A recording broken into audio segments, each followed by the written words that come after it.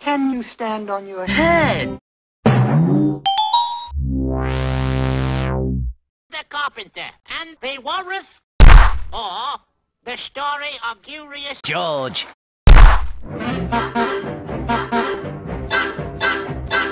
sun is shining on the sea, shining with all its might. Here comes the sun. Here comes the moon.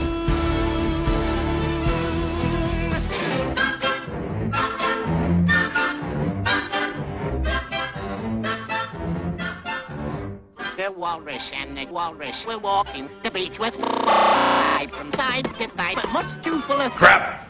Mr. Walrus, my brain begins to work. We'll sweep this for year in all clear if you don't mind the work.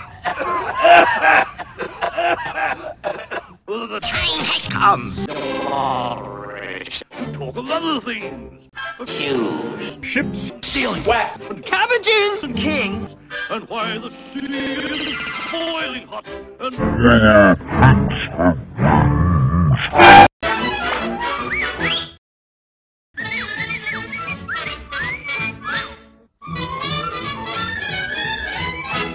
oh, uh, oysters. The kids, they listen to the rap, which gives them the brain damage. You see, with their hippin' and the hoppin' and the pippin' and the boppin', so they don't know what the jail is all about. You see? Yes, and should we get hungry on the way, we'll stop and, uh... Have a bite?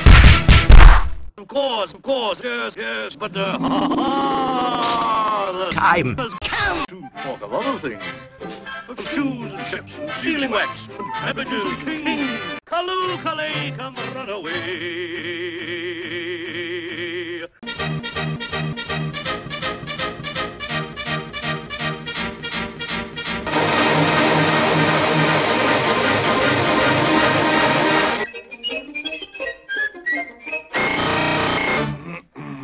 Well now, uh...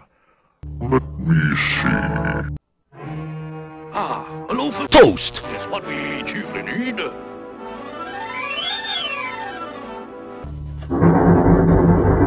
How about some... green eggs and ham. Well, yes, that's plenty of onion. Very good indeed.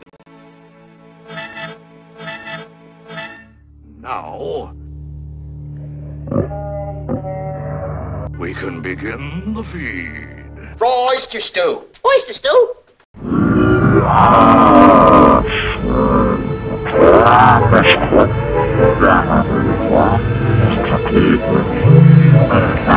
Peppercorns and seasonings and other sauces. We'll mix them all together in a mustard seed fit for kings. Callooh Callay will eat today.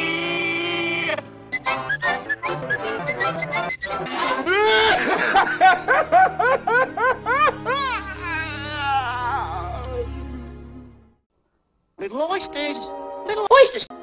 But Anshire, there came one. And this was because they'd been eaten. None.